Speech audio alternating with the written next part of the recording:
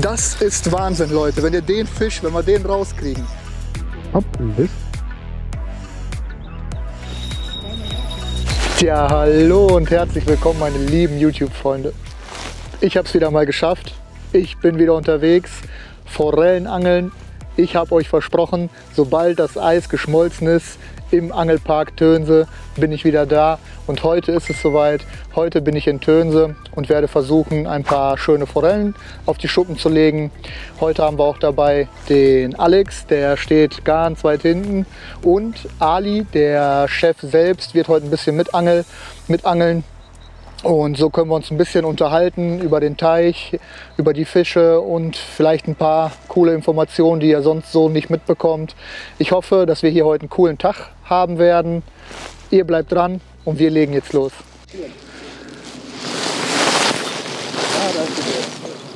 Ja, guck mal. Erster Fisch ist im Drill. Ja, liebe Leute, der Ali legt vor. Und jetzt hier die erste dran.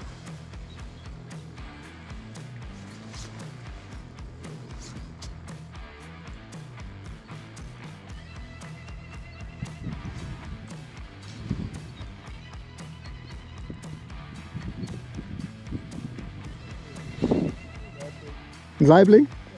Sehr schön.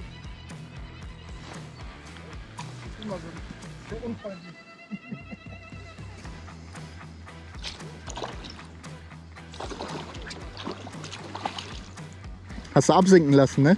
Ja, ein bisschen. Ja, guck mal, erster Fisch kommt raus. Tetriali. Grazie. Richtig schöner Saibling. Hat er verhaftet.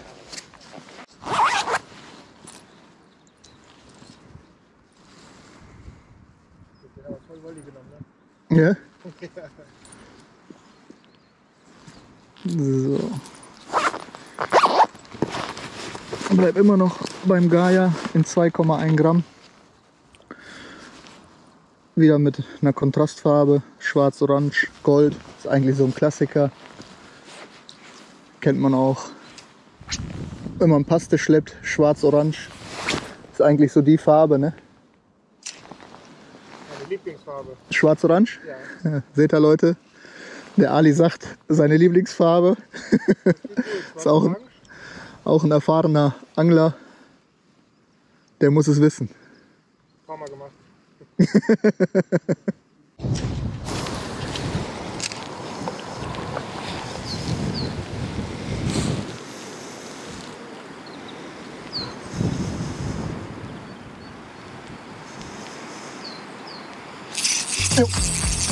Oh, eine Seeforelle, glaube ich, vorm Ufer.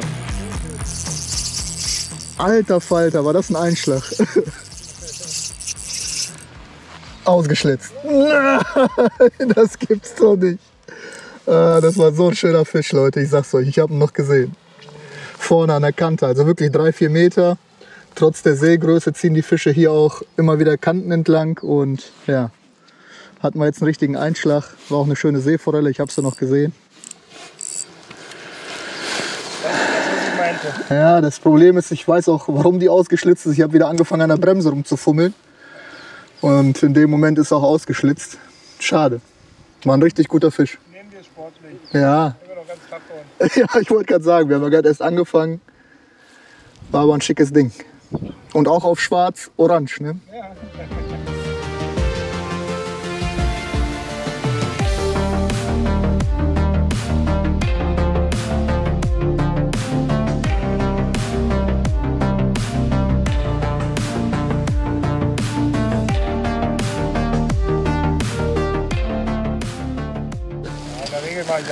10, 15 Würfe und dann wechsle ich. Ja, das macht ja auch Sinn. Also so, das ist auch ungefähr mein Prinzip. Ich mache 10, 15 Würfe, versuche ich zwischendurch noch ein paar verschiedene Wasserschichten mal absinken lassen, mal äh, Spinnstops einlegen und sowas. Und wenn auf die Farbe dann nichts geht, dann macht es auch nicht so richtig Sinn, die weiter zu fischen. Ne? So sieht's aus.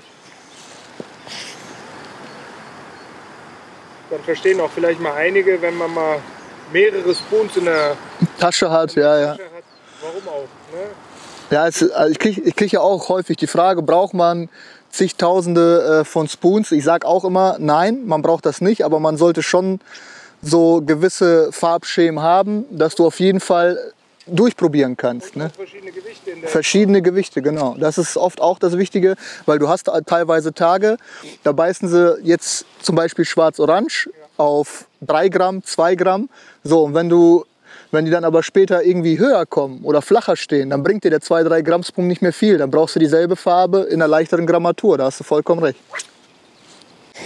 Eigentlich erlebe ich das so, wenn die Fische, gerade Saibling oder Seeforellen, wenn die besetzt werden, dass die eigentlich nicht sofort beißen. Ne? Jetzt, äh, Ja, die, wir haben ja unsere Fische aus, äh, aus einer deutschen Zucht, die da sehr gut gezüchtet werden. Das ist eine sehr gute Zucht.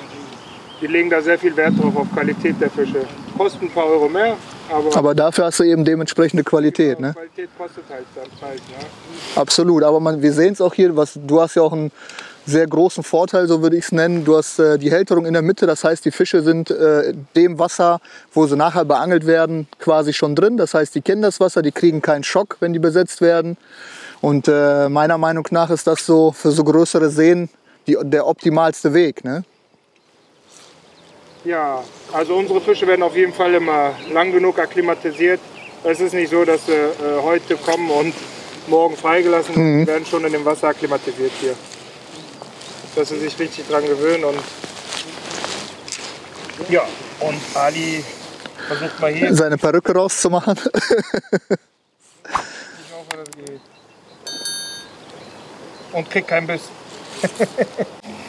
Hier, da ist sie. Guckt euch diesen, diese Seeforelle an. Das ist der Wahnsinn. Was für ein Brecher das ist. Wobbler ist eine gute Wahl. Ja. Das habe ich mir auch gedacht. Die, das ist ein äh, Rob Lewis. Das. Echt nicht schlecht, ne? Die sind vom Lauf sind die super. Also ich habe mit denen echt super, super Ergebnisse, muss ich echt sagen. Ich habe davon auch zwei und die laufen immer irgendwie, ne? Ja, Also bei denen gibt es nicht irgendwie, dass sie so seitlich immer nur so manchmal hast du das so.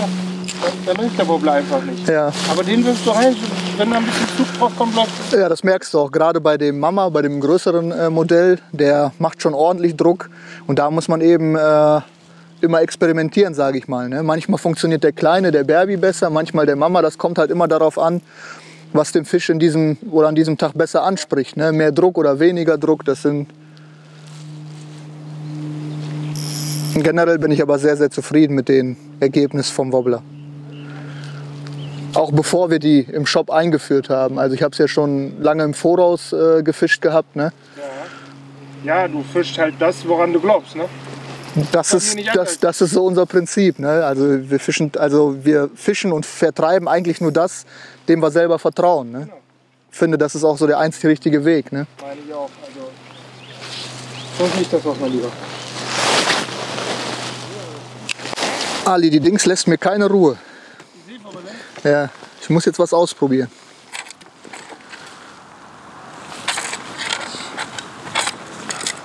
Das finde ich auch geil an dir. Hartnäckig, ne? Ja, du. Probieren, probieren, probieren. So, auch hier wieder ein neuer Köder.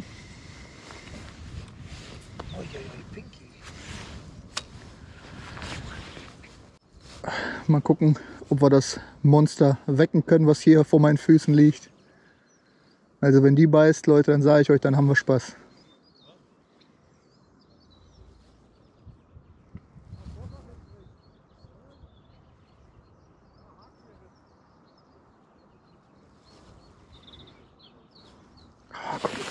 Vielleicht seht ihr das, das ist so ein schöner Fisch, Wahnsinn.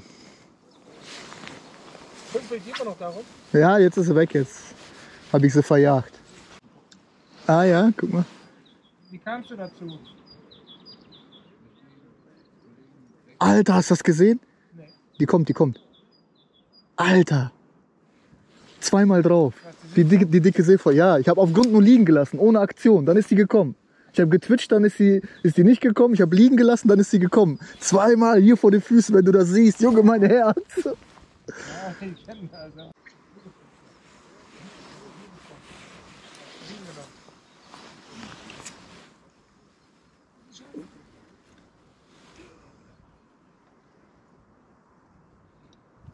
Jawohl!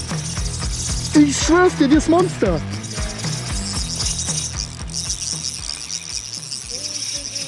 Das gibt's, die ist wiedergekommen, Alter, und hat den genommen. Ohne Scheiß, das Monster. Die Leute, Alter, das ist Wahnsinn. Das ist Wahnsinn, Leute. Wenn ihr den Fisch, wenn wir den rauskriegen. Der ist gekommen, ich hab's gesehen, Ali, der ist hochgekommen, der hat das Wahnsinn. Jetzt haben wir erstmal was zu tun. Also so eine riesen Seeforelle. Wahnsinn.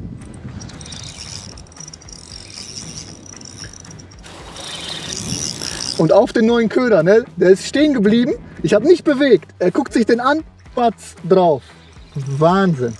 Das zahlt sich mal wieder aus. Hartnäckig. Wahnsinn. Was ein Fisch, Leute. Alex, sowas hast du noch nicht gesehen, glaubst mir. Guckt euch diesen Fisch an. Er hat sich gerade eben für meinen Köder entschieden. Ja, ja, ist klar. Der, der stand immer wieder hier vorne. Also ist gekommen und dann hat sich umgedreht. Wahnsinn, was ein Fisch das ist. Auf den neuen, die, die Yum Yum. Der lag auf Grund, Yum Yum. Ja, Yum Yum heißt. Auf den Yum Yum. Aber bei mir auch. Auf dem Sini, also halt, die hat lange überlegt, ist dann zurückgekommen und dann hat sie. Was ein Fisch, Leute. Das ist verrückt. Das ist verrückt. Also da ist schon der ganze Tag, wenn, ich, wenn es bei dem Fisch bleibt, ist der ganze Tag schon gerettet. Guckt euch diesen Fisch an. Was ist das denn erst da bei mir. Ja, Seeforelle. Ja. Oh, so eine schöne große Seeforelle. Wahnsinn, Leute. Oh, Wahnsinn. Der hängt richtig spitze. Jawohl. Jawohl, Leute, jawohl. Ah. Petri, Dank. Die haben Angst, die Jungs, ne? Die geben nicht so schnell Schnitt. Ah, Leute. Wahnsinn. Wahnsinn. Guck mal, wo der hängt. Guck dir das mal an. Guck dir das mal an. Dann verstehst du, wie der gebissen hat. Ja, na klar. Das ist doch das Monster, was hier Das ist genau das Monster, was hier vorne stand. Mal Ja. Petri, Dank. Tja, meine Lieben, ich bin überwältigt, wirklich. Schaut euch diesen schönen Fisch an. Es ist wirklich der Wahnsinn, was das für eine schöne Seeforelle ist. Wahnsinn. Tja, jetzt auf dem neuen Köder. Das war Adrenalin pur. Die stand 4-5 Meter, lag auf Grund. Ich habe den Yum Yum als Wacky aufgezogen, immer wieder getwitcht. Und sobald er auf dem Grund liegen geblieben ist, ist er rangekommen, hat sich dann immer wieder angeguckt. Dann ist er abgedreht und ich glaube, nach einer Minute ist er wieder aufgetaucht. Und dann hat sie den in der Absenkphase volles mitgenommen. Spektakulärer Drill. Und wie gesagt, ich bin sprachlos. Was ein toller Fisch. Wahnsinn, Leute, Wahnsinn.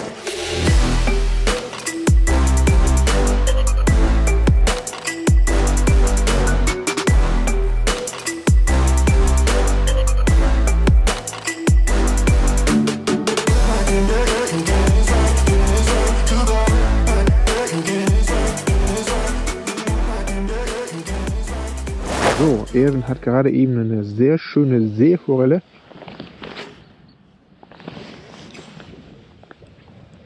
verhaften können. Und das möchte ich auch. Ab ein Biss. Ab ein Biss. Ab, ab, ab, ab, ab, ab. Und. Ah! Und ausgeschlitzt. Ein Saibling. Ein Saibling.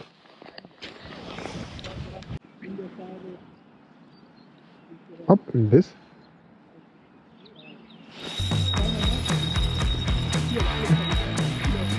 Na, hoffentlich. Ui.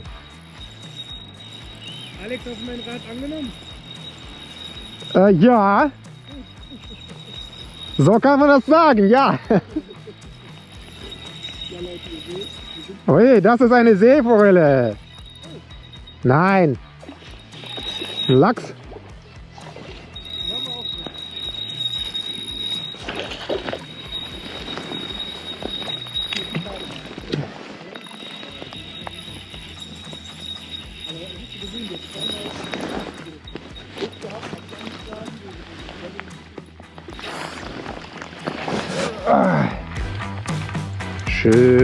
Fisch. Ah. Ah, schon wieder meinen halben Köder gefressen. Das ist der Ali hier ohne Goldene. Macht sogar Loopings, genau. Boah, ist aber ein schönes Ding, ne? Die ist so fast schon weiß, ne? Guck mal. Genau die haben knallrotes Fleisch. Ja.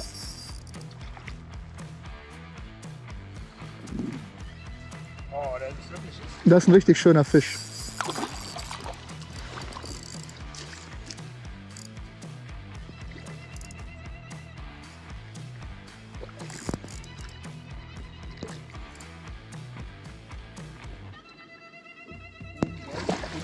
Ja, die sieht fast weiß aus, ne? Sehr schöner Fisch. Petri Ali. Grazie. Tja Leute, jetzt Neomatrix-Serie in lila. 4 mm Kopf, dass wir ein bisschen schneller runterkommen und auch weiterwerfen.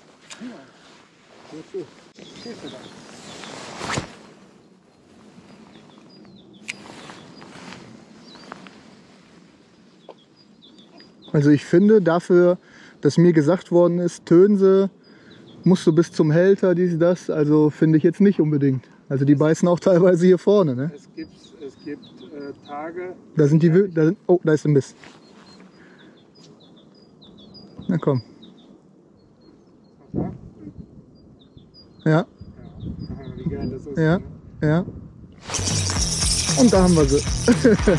ja, ihr seht Leute, ich bin hier mit dem Ali im Gespräch, am Quatschen und dann kriegen wir da einen Einschlag in der Route.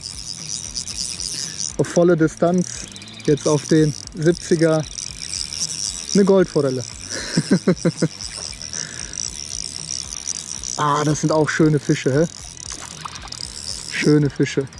Oh, guck mal, der Ali ist so nett und hält schon Kescher ins Wasser. Kescher Boy. Kescher Boy.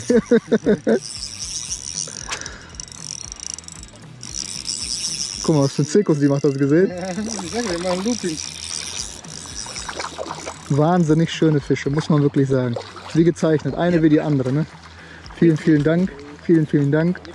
Leute, guckt euch mal die Färbung an der Fische, die Flossen. Wahnsinn, echt. Ali, Ja, bitte. von mir Daumen hoch. danke, danke. Wahnsinn, was für schöne Fische. Ist auf jeden Fall ein sehr, sehr, sehr, sehr schöner See, den du hier hast, muss ich wirklich sagen. Gefällt mir wirklich sehr, sehr gut.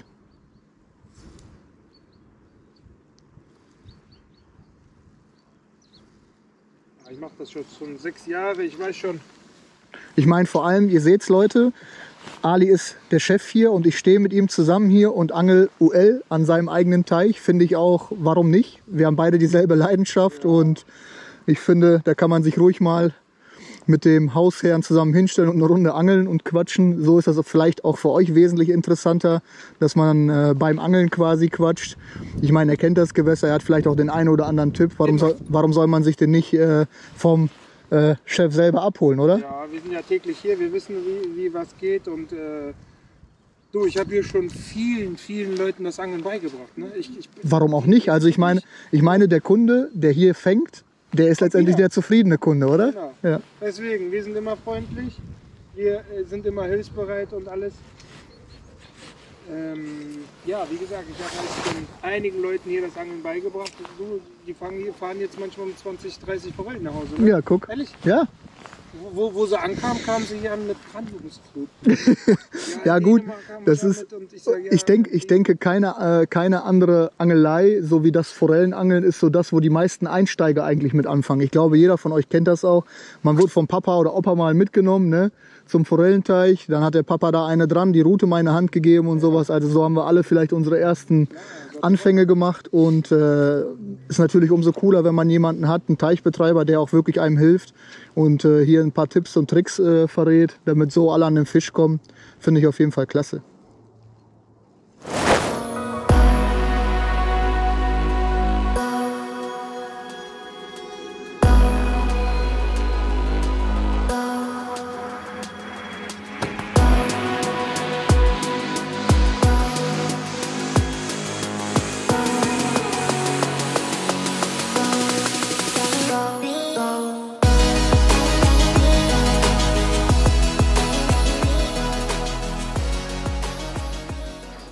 Dann probieren wir die Mutti mal aus.